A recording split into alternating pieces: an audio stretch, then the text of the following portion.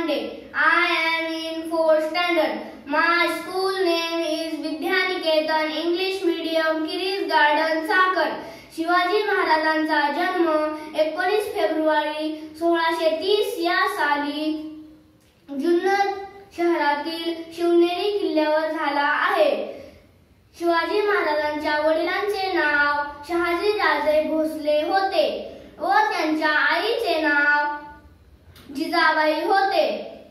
मी आज तुमच्यापुढे शिवगर्जना सादर करणार आहे.